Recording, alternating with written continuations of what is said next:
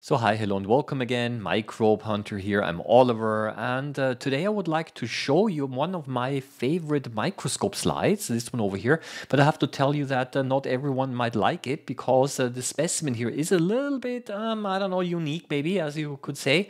It's because it's the tail of a monkey, the cross section of the tail of a monkey. It's an anatomical slide and it is also an antique slide. So the slide here is probably around 100 years old. Um, and I like the the slide uh, specifically because uh, it's very educational, even though um, I might understand that not everyone might like uh, the idea that they actually sectioned the tail of a monkey and put it here on this microscope slide. But it's actually quite um, interesting in the sense that you're able to see many interesting anatomical details that I would like uh, to, to share with you. So unfortunately, this slide suffers the same problem like many slides, uh, and that is it's missing a date, right? Um, uh, but as a matter of fact, um, yeah, because uh, of this beautiful ring-shaped, uh, um, yeah, slide ringing here, um, I think that could be um, also a brand uh, indicator, and so maybe this was actually made by, uh, I hope at least, uh, um, a well-known slide manufacturer back in the day.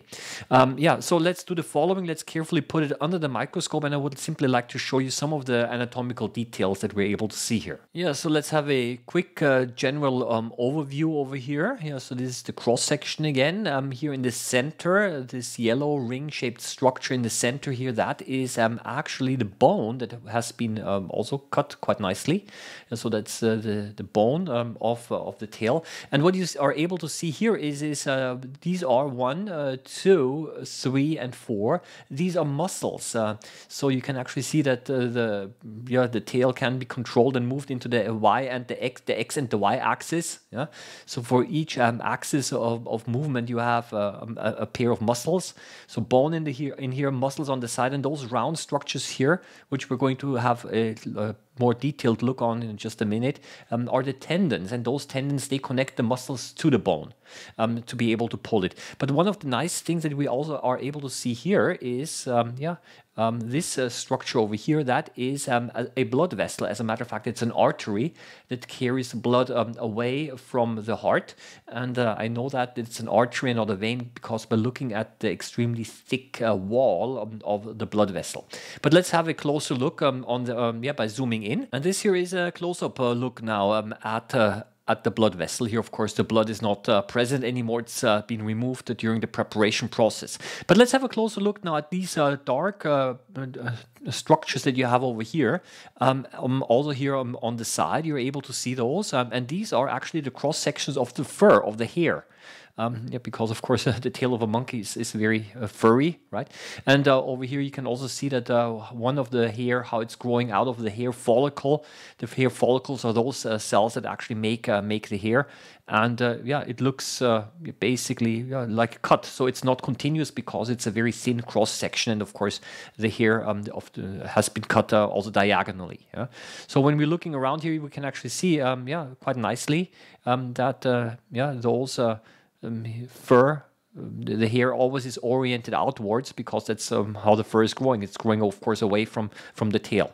Um, another thing I want to show you here in the center, um, this white uh, stuff that you see here, that is uh, also called adipose tissue. Adipose, that is um, fat tissue, right? Um, and uh, yeah, because the tail um, contains also a lot of fat because I think maybe also because of insulation, temperature insulation. And here we can again see the tendon a little bit in, yeah, slightly more enlarged. And over here, again, the muscle. Right.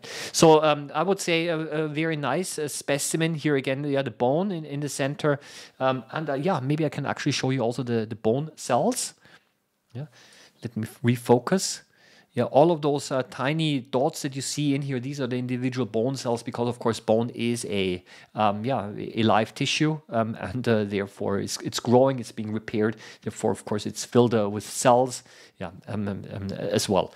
Yeah, I, I personally like this sample a lot, again because of its uh, um, yeah, let's turn down the light again. A high educational value, but uh, again, I do understand if not everyone uh, feels comfortable viewing uh, those slides.